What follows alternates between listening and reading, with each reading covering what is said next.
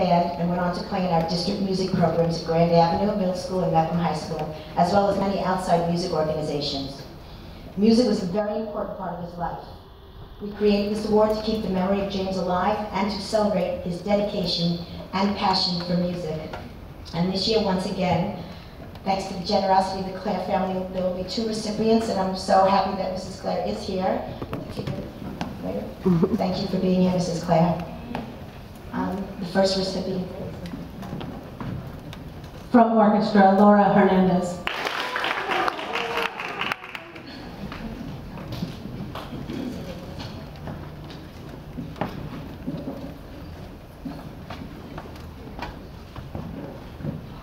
And Mrs. Jim Charles and I kind of agreed that this person has made major, major strides in both choral and band, and that would be Samantha Kubica.